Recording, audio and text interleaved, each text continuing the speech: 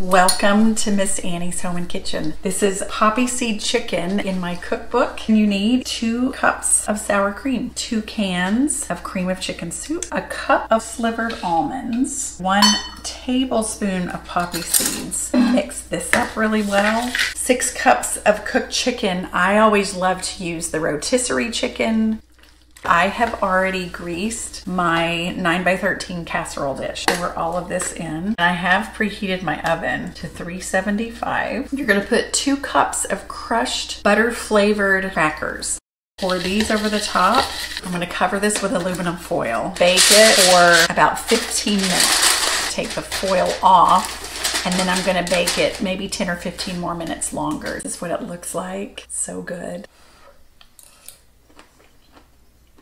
Mm, that is so good. Always remember that you can do hard things.